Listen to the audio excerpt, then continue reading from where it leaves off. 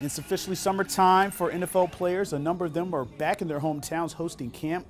One guy who just finished minicamp with the Panthers is former South Carolina State tight end Temarrick Hemingway. He was in Sumter supporting his former SC State Bulldog teammate Mario Cooper at the We Ball for Destin football tournament over the weekend. Temarrick is now on the Panthers roster after Carolina claimed him off waivers from the Denver Broncos last month. The North Myrtle Beach High School product feels he's in a good situation. The Panthers have improved in the offseason, but after 13 games in his NFL career and his third team in three seasons, he's looking forward to learning learning from one of the best in the business at his position?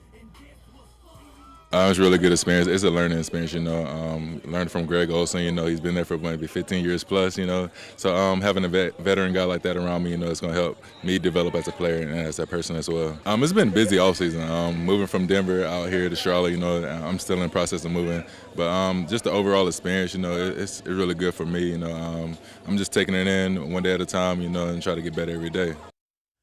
Now, Temarrick has mostly spent his career as a blocking tight end and on special teams in the NFL, but he was a receiving threat while at South Carolina State. He was a six round pick in the 2016 NFL draft by the Rams. After eight games with the Rams, he went on to play for the Broncos for five games. He hasn't caught a pass in an NFL game yet, mostly being on the practice squad and had a shortened 2017 season because of a fractured fibula. He admits he was surprised Carolina claimed him so quickly, but they are stockpiling tight ends. Greg Olsen is in his later years and he's had some major foot issues the last couple of seasons. His backup, Ian Thomas, isn't fully healthy either, so they need capable players to step up in the worst case scenarios.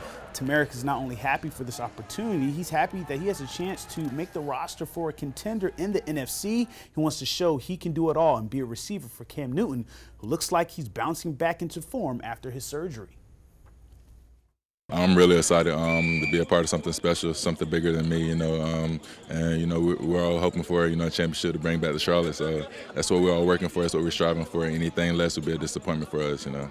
Have you caught any passes from Cam, or how, how you think of the arm?